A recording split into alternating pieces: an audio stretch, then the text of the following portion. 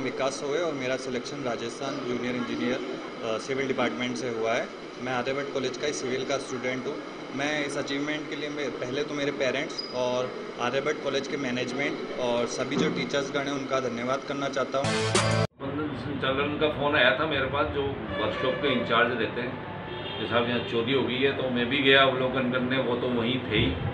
तो सात बसों के टैंकों को खाली करा गया है करीब 1680 लीटर जो डीजल है वो चोरी हुआ है जिसकी कॉस्ट एक लाख सैंतीस हज़ार के ऊपर होती है।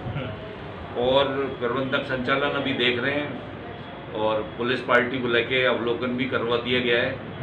और दीवार तोड़ के और उसमें से जो चोर हैं वो उसमें घुसे हैं।